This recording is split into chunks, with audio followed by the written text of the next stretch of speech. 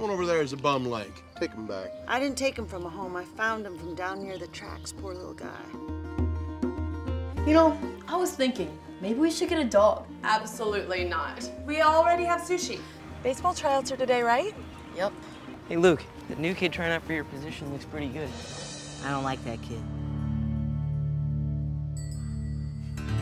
You stay off the baseball field. Got it? I don't know why my mom's so against me getting a dog. At least I'd have a friend. I'll be back. Promise. Where'd you get him? Luke Weaver's house. You can get out now, come on. All right, kid. Game on. Who's that?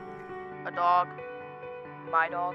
It's a bad infection. You have to get Marshall to a vet. He's gonna need surgery. Can you call your mom at work? Marshall!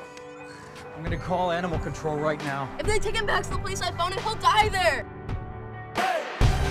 The dog boy. You don't belong to you. I'm the only friend he's got. He's the only friend I got.